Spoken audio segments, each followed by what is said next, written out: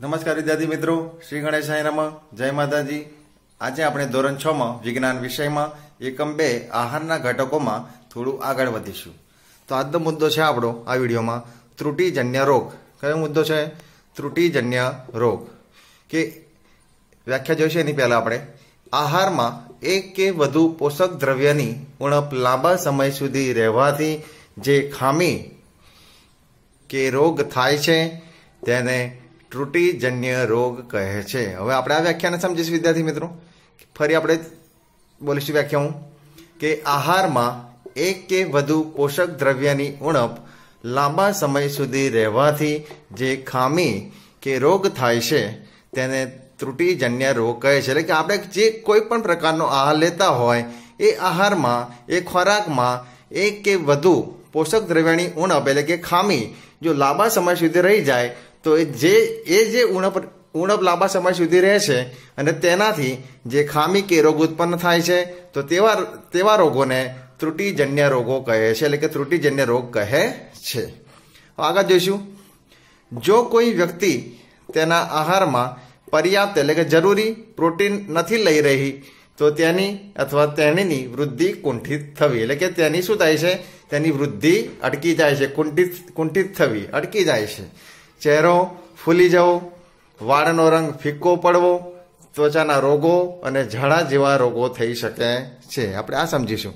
જો કોઈ વ્યક્તિ તેના આહારમાં, ખોરાકમાં પર્યાપ્ત માત્રામાં પ્રોટીન નથી લઈ રહી, તો તેની અથવા તેણીની વૃદ્ધિ કુંઠિત થાય છે, એટલે કે કુંઠિત થવી.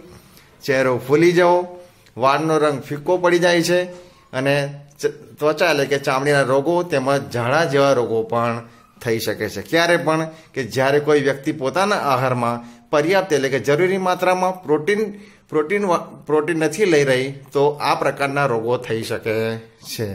આગળ જોઈશું. જો કોઈ વ્યક્તિ પ્રોટીન તથા કાર્બોદિત જેવા આહારથી લાંબા સમય સુધી વંચિત રહે તો તેની વૃદ્ધિ સંપૂર્ણ અટકી જાય છે. આ મુદ્દા આપણે પહેલો સમજીશું. જો કોઈ વ્યક્તિ પ્રોટીન તથા કાર્બોદિત જેવા આહારથી લાંબા સમય સુધી વંચિત રહે તો એટલે કે આ મુદ્દામાં એમ કહેવા માંગે છે, જો કોઈ વ્યક્તિ પ્રોટીન તથા કાર્બોદિત જેવા આહારથી લાંબા સમય સુધી વંચિત રહે એટલે કે જો કોઈ વ્યક્તિ પોતાના આહારમાં પ્રોટીન તથા કાર્બોદિત જેવો આહાર ન લે અને એ આહારથી લાંબા સમય સુધી લેવામાં ના આવે તો વંચિત રહે, તો તેની વૃદ્ધિ સંપૂર્ણ અટકી જાય છે. અને આમ, આવી વ્યક્તિ ખૂબ જ દુબળી પાતળી થઈ જાય છે. શું થાય છે? એના શરીર પર અસર પડે છે કે આવી વ્યક્તિ ખૂબ જ દુબળી કે પાતળી થઈ જાય છે.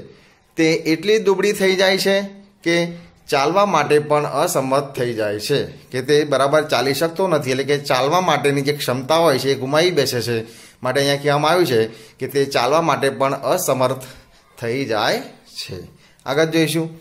વિવિધ વિટામિનો અને ખનિજ ક્ષારોના અભાવથી રોગ અથવા વિકૃતિઓ થઈ શકે છે કે વિવિધ વિટામિનો અને ખનિજ ક્ષારો જે હોય છે, જો એ એ જો આપણા શરીરના, શરીરમાં પૂરતા પ્રમાણમાં પ્રાપ્ત ન થાય, એનો અભાવ રહે, ને એ અભાવથી આપણા શરીરમાં શું થાય છે? કેટલાક રોગ તથા કેટલીક વિકૃતિઓ ઉત્પન્ન થાય છે, એટલે કે વિકૃતિઓ આપણા શરીરમાં જોવા મળે છે, એટલે કે વિકૃતિઓ થઈ શકે છે. ક્યાં?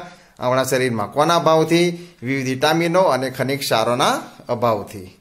આમ આવા ત્રુટિજન્ય રોગોને સમતોલ આહાર લેવાથી અટકાવી શકાય છે. શું કહેવા માંગે છે મુદ્દામાં?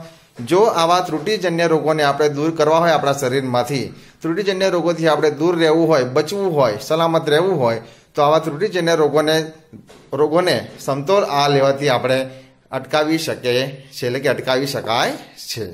વિદ્યાર્થી મિત્રો, આ મહત્વના મુદ્દામાં તમને ખૂબ ખૂબ સમજ પડશે, એવી આશા રાખું છું. એટલે કે આપણે કયું મુદ્દાની ચર્ચા કરીએ અહીંયા? ત્રુટિજન્ય રોગ. એટલે પહેલાં વ્યાખ્યા તમને આવડી જોઈએ, ત્યારબાદ આ મુદ્દા તમને સમજ, સમજમાં આવશે. તમને આખો મુદ્દો ત્રુટિજન્ય રોગો શું છે અને એ કયા પ્રકારના રોગો છે એ તમને સમજ પડશે. વિદ્યાર્થી મિત્રો, આજના વિડીયોમાં તમને ખૂબ સમજ પડશે. એવી આશા રાખું છું વિદ્યાર્થી મિત્રો. શ્રી ગણેશાયનામાં જય માતાજી. નમસ્કાર વિદ્યાર્થી મિત્રો. શ્રી ગણેશાયનામાં જય માતાજી. હવે ધોરણ છ ના વિજ્ઞાન વિષયમાં એકમ બે, આહારના ઘટકોમાં થોડું હવે આપણે આગળ વધીશું, નવો મુદ્દો જોઈશું.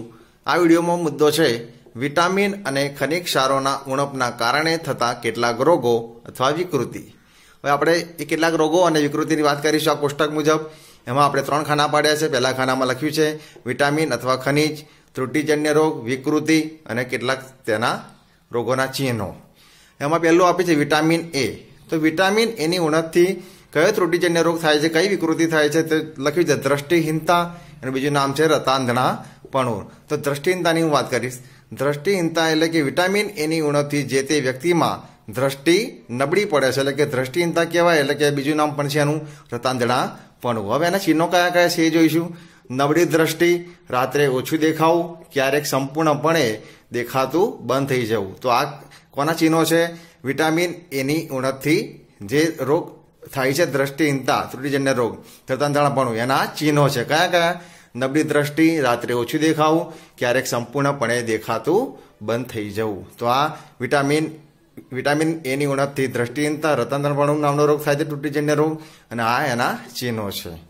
હવે વાત કરીશું વિટામિન બી વન તો વિટામિન બી વનની ઉણપથી કયો રોગ તૂટીજન્ય રોગ થાય છે? બેરી બેરી. કયો? બેરી બેરી. હવે એના કેટલાક ચિહ્નો જોઈશું.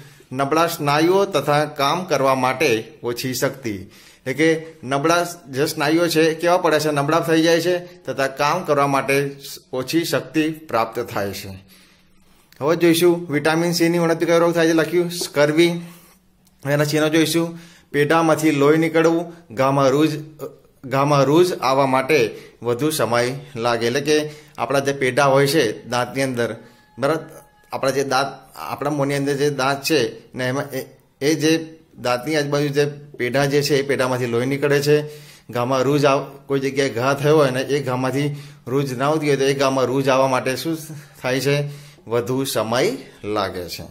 હવે વાત કરીશું વિટામિન ડી, કે વિટામિન ડીની વળતું કઈ રોગ થાય છે? રિકેટ્સ એને કહેવામાં આવે સુક્તાન. હવે એના ચિહ્નો કયા કયા છે? હાડકાઓનું નાજુક બનીને વળી જવું. એટલે કે આપણા શરીરના જે હાડકા જે છે બરાબર, એ હડકાવાનું નાજુક એટલે નરમ બનીને વળી જવું. એ એના ચિહ્નો છે. હવે વાત કરીશું કેલ્શિયમ. કેલ્શિયમની ઉણપથી કયો રોગ થાય છે? હાડકા અને દાંતનો કોવાટ. આપણા જે હાડકા હોય છે અને જે આપણા મોની અંદર રહેલા દાંત છે, એમાં કોવાટ એટલે કે સડો ઉત્પન્ન થાય છે. હવે એના ચિહ્નો કયા કયા છે? નબળા હાડકા અને દાંતમાં સડો થવો. હાડકા નબળા પડે છે અને દાંત, દાંતમાં આપણા શું થાય છે? સડો ઉત્પન્ન થાય છે. દાંત કોવાઈ જાય છે. હવે વાત કરીશું આયોડિન. આયોડિનનું ઉણપથી રોગ થાય છે ગોઈટર એને કહેવામાં છે ગલગંડ. હવે એના ચિહ્નો કયા કયા છે? ગરદનમાં આવેલ ગ્રંથિ ફૂલી જવી, બાળકોમાં માનસિક મંદતા.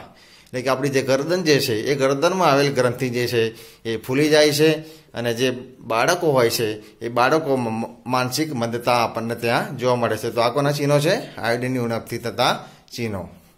હવે વાત કરીશું આયન. તો એની ઉણપથી રોગ થાય છે એનિમિયા, એટલે કે પાંડુરોગ. હવે એને ચિહ્નો છે, નબળાઈ. શરીરમાં નબળાઈ આવી જાય છે. નબળાઈ આવવાનું કારણ એક જ છે, આયન.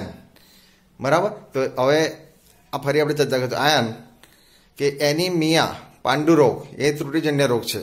કોની ઉણપથી થતો રોગ છે? આયનની આયનની ઉણપથી થતો રોગ, ત્રુટિજન્ય રોગ છે. એનિમિયા પાંડુરોગ અને એના જે ચિહ્નો છે, શરીરમાં નબળાઈ નબળાઈ આવે છે. નબળાઈનો અનુભવ થાય છે. તો વિદ્યાર્થી મિત્રો આપણે કયા મુદ્દાની ચર્ચા કરી આજે વિટામિન અને ખનિજ ક્ષારોના ઉણપના કારણે થતા કેટલાક રોગો એટલે કે વિકૃતિની વાત કરી.